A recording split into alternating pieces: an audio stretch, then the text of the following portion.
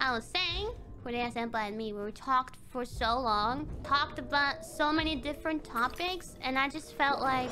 I felt like we both really can relate to one another so well. I feel like there's certain worries that other gen mates maybe don't understand that well.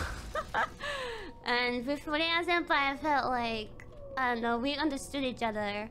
We talked a lot of, about a lot of things. We talked about some things that I will not tell you. We talked about equipment and about the streams and about the audience and we talked about whole life in general and about our worries and all kinds of things. And it's so weird because like we didn't even like know each other that well until so recently, but we connected immediately. Like we clicked I love you. No, but she is quite charming when she speaks German indeed, yeah.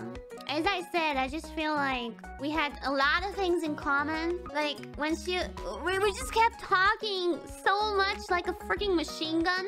It just went on and on and on. And when she said one thing, I was always like, oh my god, I can so relate to that. Oh my god, girl, I had the exact same thing. I'm happy you finally have someone to talk about these things with. That seemed to be a problem for you before. Mm. Yeah, not necessarily a problem. It's just I would probably still feel a little bit like hesitated to go to Flare Senpai whenever I have like issues or uh, when I'm worried or whatever. But it was fine. It was nice to finally feel like someone really, really understands what I have been going through. Mm.